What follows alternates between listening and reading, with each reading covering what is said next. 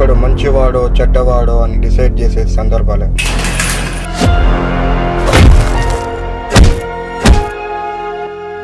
ఒకడు ఆ సందర్భాన్ని మంచి దారిలో ఉపయోగిస్తే మంచోడు. వాడొస్తే ఒక్కొక్కడికి పగిలిపోద్దిరా. అదే సందర్భాన్ని బాగా ఉపయోగిస్తే చెడ్డోడు.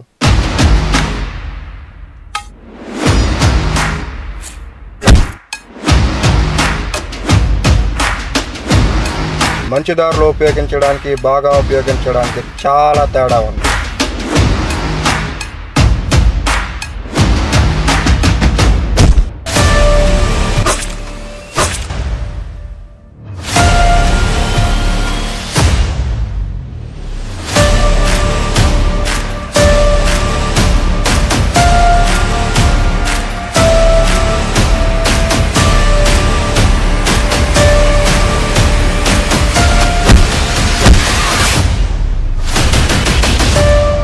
వాడు వేరేమన్నా?